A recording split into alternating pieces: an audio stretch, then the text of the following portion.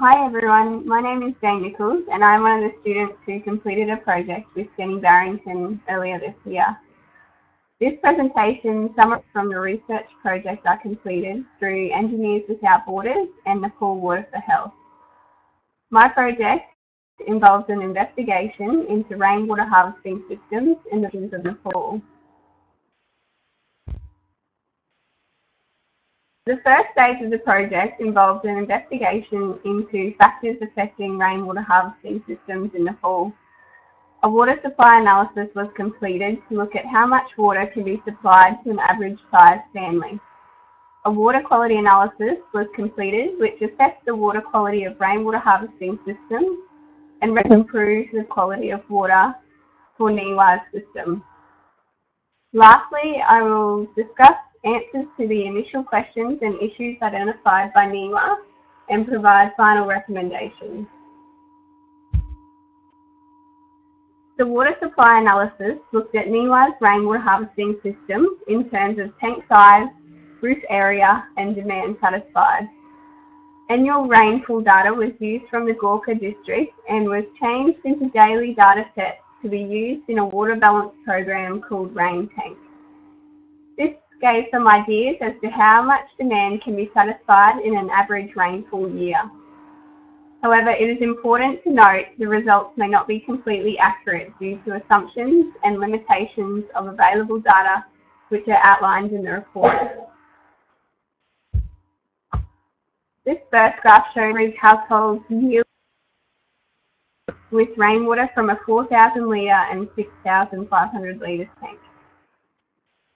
This shows that rainwater harvesting is quite ineffective as for the average household roof size of only 15 metres squared, only 17% of the total demand can be satisfied. Limited water supply is mainly due to the monsoonal weather patterns and the small roof size. This graph shows how much water is supplied when the tank is increased and the roof area is increased. Increasing the tank size will not significantly improve the amount of water supplied compared to increasing the roof area. You can see on the graph that up to a roof area of around 30 metres squared, an, an increase has almost no effect on the amount of water supplied. This graph shows the cooking and drinking demand satisfied in an average rainfall year with different sized tanks.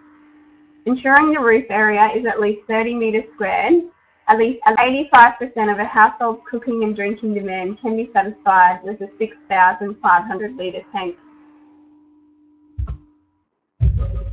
Due to limitations in water quality uh, from NEWAH's system, the water quality analysis was carried out by reviewing literature on water quality of rainwater harvesting systems and analysing NEWAH's design in the fall. Key barriers required to protect the quality of rainwater were identified and recommendations on how to improve the water quality of NEWAH's system are provided. This diagram here shows the different components of a rainwater harvesting system in the first column, uh, the ways in which the water can be contaminated in the second column, and the key barriers that can be implemented to maintain the higher quality of rainwater. It is evident that maintenance is important as you can see it's a key barrier for each of the main components of the system. The key recommendations to improve water quality of the rainwater harvesting systems include improving maintenance through education and by adopting the water safety plan process with each family. This will allow the family to develop a clear link between tank maintenance, water quality in the tank, and family health and well-being. The first flush system needs to be able to divert water automatically and capture the water for reuse on the kitchen garden or other lower quality demands. Having an angled screen on the downpipe will remove debris and reduce the amount of organic matter at the tank. Cheap and effective in reducing the amount of maintenance needed and improving water quality. It is also recommended to cover abstraction taps if animals are able to lick the tap as this may also contaminate the water. Four basic designs of first flush devices are recommended in the final report. Two designs involve a slow release valve that allows water to slowly drip out into a bucket, whilst the other two designs collect water which should be emptied after the rainfall event. The important aspects of these designs are that the first flush is automatically diverted and this water is captured to be used on lower quality demand. Further investigation and piloting of a design in the pool is needed to ensure families will actually use the design. There were a few questions and issues raised by NEWAH at the beginning of the project. Um, the first question was, are rainwater harvesting systems better or worse than spring or stream sources? So there are limitations in data to accurate, accurately answer this question, and each system can yield varying water quality.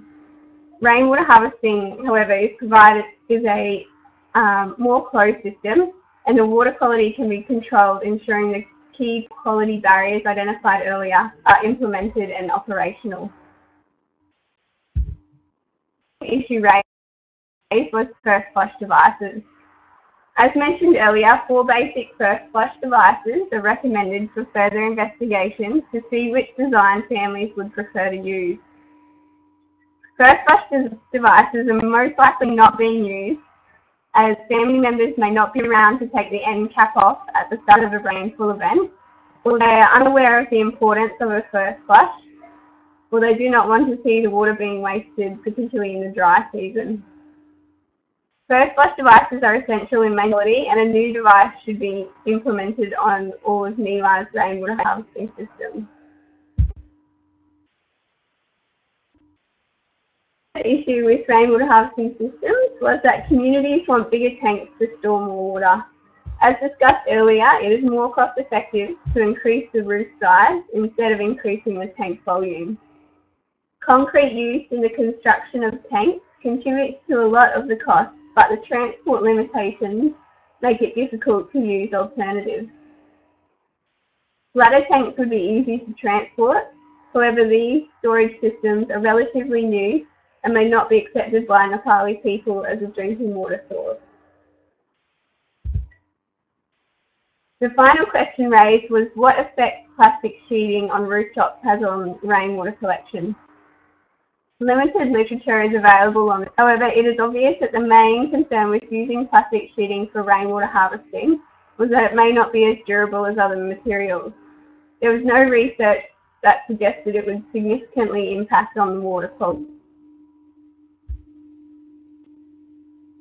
This simple diagram summarises key recommendations in the report. They're shown in four key areas which highlight the most important modifications that will improve the use of rainwater harvesting systems. To improve water quality of systems, it's important to improve the maintenance, change the first flush device, include angled screens on downpipes and cover abstraction taps. To increase the water supply, it's recommended to ensure roof areas are at least 30 metres square, 6,500 litre tanks are used, and rainwater should be prioritised in cooking demands, ensuring that the key quality barriers are implemented. Education on operation and maintenance should be improved, especially for women, and water safety plans should be adopted to help develop a link between maintenance, water quality and family health. Finally, monitoring and evaluation should be improved. A project evaluation manual from Rainwater Harvesting Systems has been developed by Clive Scott from Rainwater Cambodia and could be used by NEWAH. Monitoring and evaluation of rainwater harvesting systems is important as this will identify any unknown issues with the system. Although rainwater harvesting systems are ineffective in terms of water quantity, it can supply a high quality cooking and drinking water, ensuring that the system is properly designed, operated and maintained.